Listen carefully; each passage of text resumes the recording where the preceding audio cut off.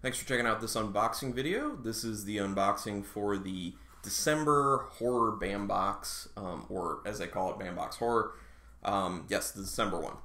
So there's a special thing in this particular box where they did as just like an add-in that was these little like art cards that are done by Bianca Thompson, and apparently she's licensed to do things for like Star Wars and I think Marvel maybe um, for some special artwork. So the cards they've been like pushing um, how cool these are going to be because they're so unique. And one of the other things is that each one of them that anyone gets is going to be collectible, severely collectible because they're all one out of one. None of them were duplicated, so everyone's going to get a different one, which is also cool because it'll increase people's uh, want to do trading through the Bambox community page on Facebook. So, you know, people get things that are like, well, I don't really like this franchise. Let me go and trade because they find something. Um, I can't imagine how much work Bianca Thompson put into that because that's a lot of art to do. Now, I know she does airbrush stuff, so it's a little more simplistic looking, but I don't think it makes it necessarily easier to do. Um, I know that she also did some other like special things uh, where some of them are like verses, where it's like two different franchises, like Freddy versus Jason or something. So some people will get two cards because it's like Freddy versus Jason, and you put them side by side to finish it.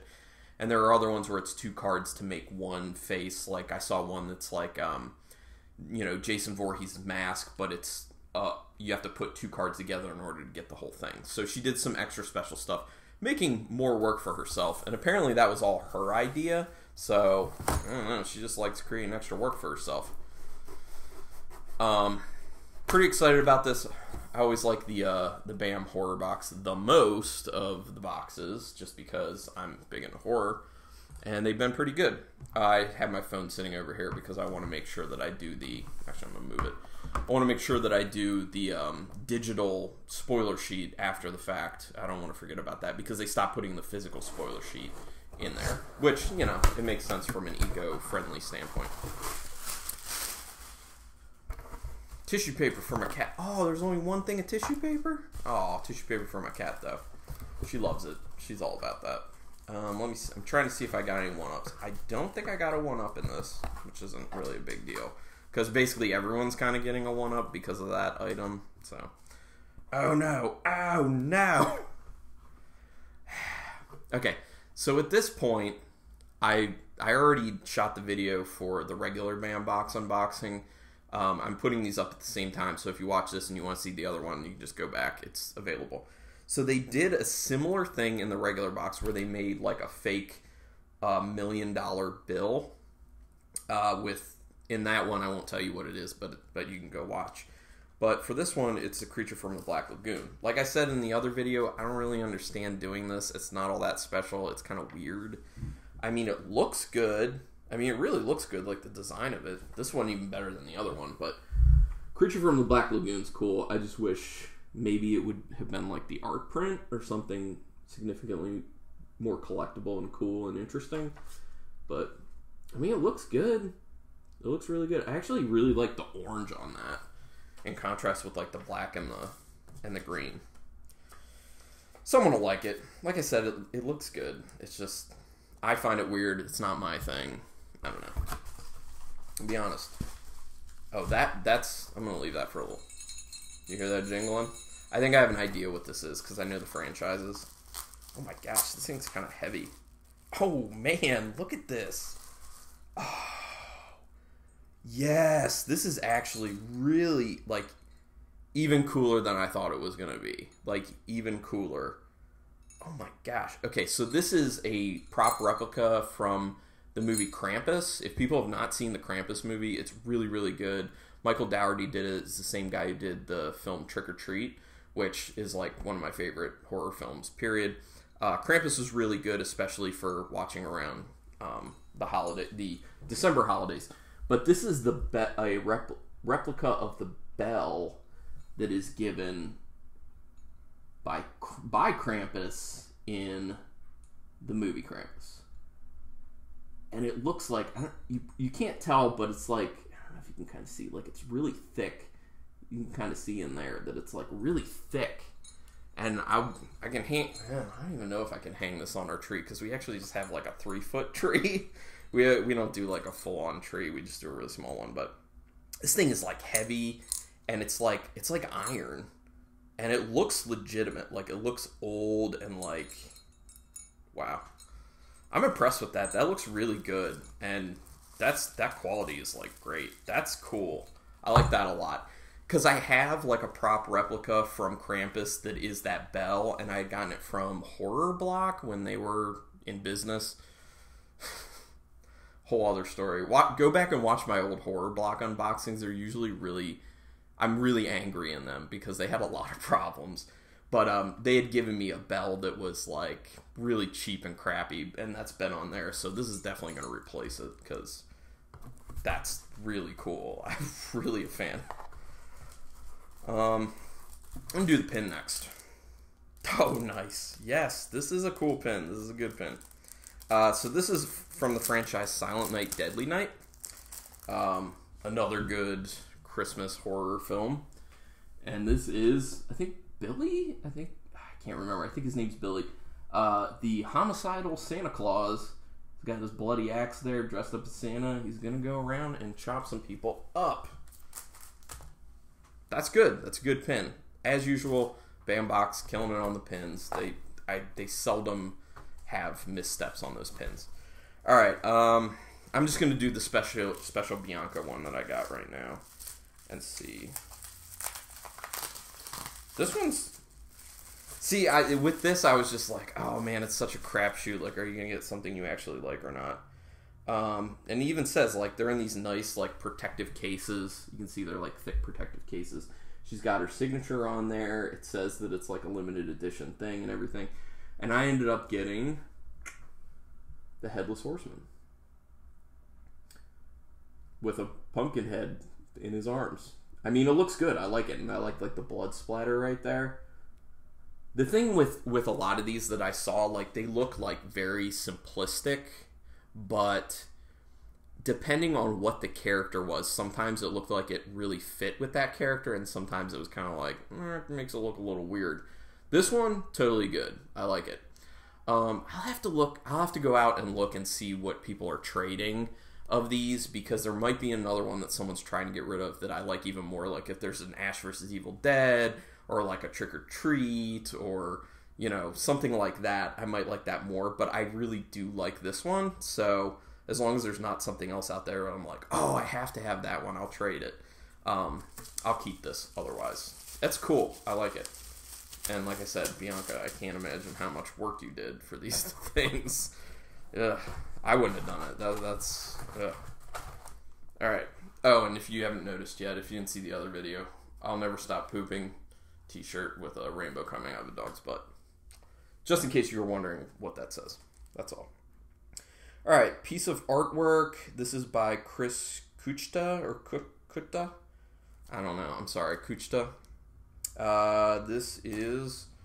Oh wow, this is nice. Ooh, this is really nice. So this is from a Freddy vs. Jason franchise, which a lot of people hate that movie. I watched it for what it was, just gonna be dumb, but hopefully fun, and it was fun. So uh, so I like it. Uh, this is nice. So look, you have uh, Jason Voorhees back there. You have Freddy standing in front of him, and then you have them. If you can see it without too much glare, the uh, look there, them facing off down here. That's a nice art print. That's nice. They usually have really good art prints too. Um, number six hundred sixty nine out of fifteen hundred. That's uh, Chris Kuchta I'm sorry if I'm saying your name wrong, but you did an awesome job. This is really cool. I like this. This box is pretty good. Pretty good box. Now, I think this is it. The autograph. Uh, okay, so this is uh, autograph from I Spit on Your Grave. I'm the newer one because the guy looks pretty young. It's Chad Lindberg.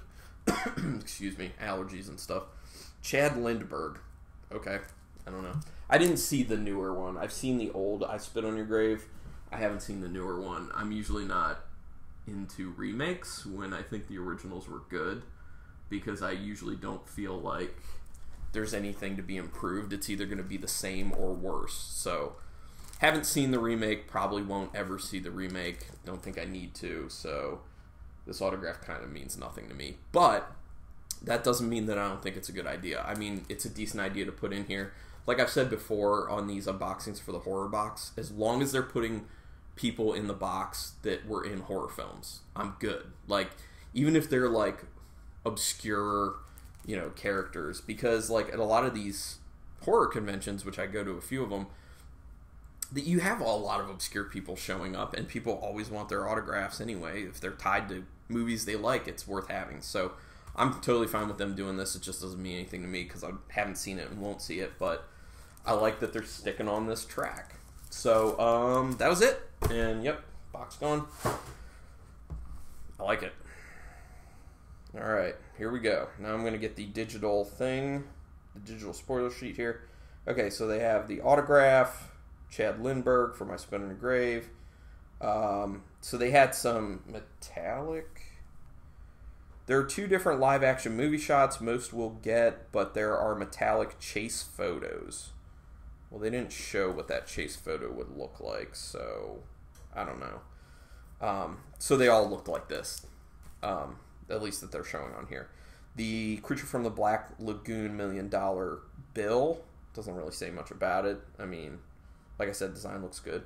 Uh, the one out of one Bianca Thompson, which I'm going to show you this so you can get an idea of like what the some of the other ones look like because they have some pictures. So there's like Sam from Trick or Treat. That'd be really cool to have. There's like Freddy Krueger, Twisty the Clown from American Horror Story, half of Jason Voorhees. That would have been one of the. You needed two of them to make the whole thing up. Uh, Pennywise the Clown from the new It. I mean, they look good. So I wonder what other people got. And then they have the prop replica from Krampus, which was really well executed. Like I said, uh, the Freddy versus Jason print so there was a 200 limited edition that they made 250 of that was like black and white. You can see like that's the normal one that I got, and then there's a black and white one sitting under it. In those instances, honestly, I'm glad I got the regular one because I don't really need a black and white for that. It doesn't enhance it at all for me. So I'm totally cool with that. And then all three of the pins were going to be from um, sorry, doing laundry if you hear that. Uh, all three of the pins were going to be from Silent Night, Deadly Night, and you can see up here the different ones they did. That's the one that I got. It's a normal one. Then there's out of 250, and then there's one only out of 50. That one's amazingly good. Like I think this one's awesome. This one's eh, and this one's really crazy good. Only 50 of those. Wow. Okay. Only 50. Hmm and that's it. Um, happy with it, like it. The one out of one Bianca Thompson card, super cool. The Bambox pin, always amazing. This replica from Krampus, I was expecting to get it and just be like, eh, it's like a lot like the one I already have. Whatever. Um, the banknote, I mean, really well designed, but uh, not my thing for the autograph, but on the right track, and I and I understand that some people probably like it, and this art print's really cool. So overall, I really like this box. Keep it going, Bam, with your horror stuff. Uh, and Bianca Thompson, once again, you did great work, and you're working hard. Thank you everyone for checking this out. If you haven't already, check out my unboxing for the regular December BAM box, which had some cool items in it, and we'll be up at the same time as this. So thank you everyone, and until next time, keep it brutal.